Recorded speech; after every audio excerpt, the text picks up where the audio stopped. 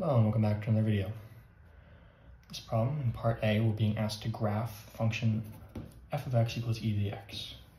Now you don't have to be super precise about this, you just have to remember the general shape. And when they're asking you pay attention to how the graph crosses the y-axis, they're asking you to do, and this probably wouldn't be super noticeable if you're graphing by hand, so I don't really know why they're asking it, but the slope of the curve at that point is 1, right? So you can think of f prime of 0 equals 1. That's what they want you to notice. Not super clear based off of a hand-drawn graph, but that's okay. Next, in part B, what type of functions are f of x equals e to the x and g to the x equals x to the e? Well, f of x is an exponential function, right? Because the variable is in the um, is being raised to the power.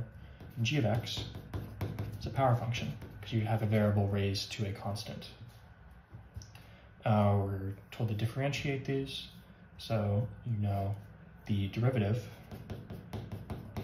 of e to the x is itself, and the derivative of x to the e, we can do the typical power rule.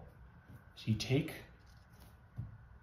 the exponent, you bring it down as a coefficient, then we have x, and the new exponent is the old exponent minus 1.